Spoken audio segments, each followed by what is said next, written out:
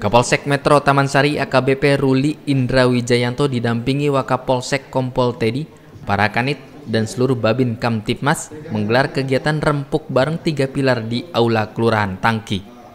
Kegiatan tersebut dihadiri dan Ramil Taman Sari Mayor Infanteri Rohani, Lurah Tangki Ibnu Sofa AP, para ketua RT dan RW, tokoh agama dan tokoh masyarakat Karang Taruna, Citra Bayangkara, dan komponen masyarakat lainnya. Demikian dilaporkan Babin Kamtipmas Mabhar Aibtu Sumarno, salam Tribrata.